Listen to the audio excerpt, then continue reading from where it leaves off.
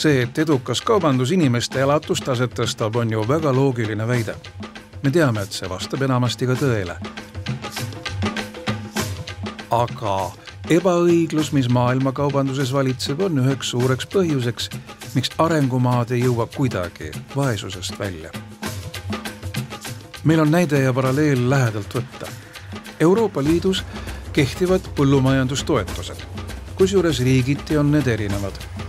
Meie põllumehed saavad vähem toetusi kui mõned teised. meil on Euroopa turule selle võrra raskem siseneda. aga kui suurel ja jagatud maailmaturul peab hakkama saama Aafrika väikefarmer, siis mis te arvate, kui edukas ta on? kes turule pääseb, eurooplane või aafriklane? Maailmakaubanduses on arengumaa tootjatel vastas keskmiselt kaks korda nii suured kaubatakistused kui konkurentidel lääneriikidest. Nende takistuste ületamine läheb arenguriikidele palju rohkem maksma kui mis tahes arengukoostöö kaudu abina saadud toetus. isegi õiglasem maailmakaubandus poleks lahendus riikidele, kellel on hetkel rahvusvahelisel turul väga vähe müüa Sahara-aluse Aafrika osakaal maailmakaubandusest on küll viimastel aastatel kasvanud, ometi on nende riikide peamised ekspordiartiklid vaid loodusvarad, nafta, mineraalid, metallid. viimastel aastakümnetel on maailmas levinud õiglase kaubanduse idee.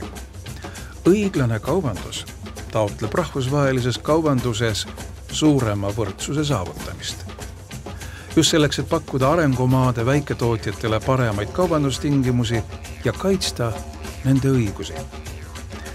õiglane kaubandus tähendab, et tootjale ei kompenseerita mitte ainult majanduskulusid, mis on tavakaubandusele ju omane, vaid tootja tagab ka kauba keskkonnahoidliku tootmise, sotsiaalse õigluse ja soolise võrdsuse, mis kõik kajastuvad kauba lõpphinnas sõltumata sellest, kui suure osa õiglase kaubanduse tooted mingi ettevõtte käibest moodustavad, on see ikkagi oluline see, et, et õiglase kaubanduse toodete müügist saadud tulu võimaldab arengumaade tootjatel oma elu seeläbi elamisväärselt korraldada, õiglaselt nii-öelda tasu teenida ja oma õigusi kaitsta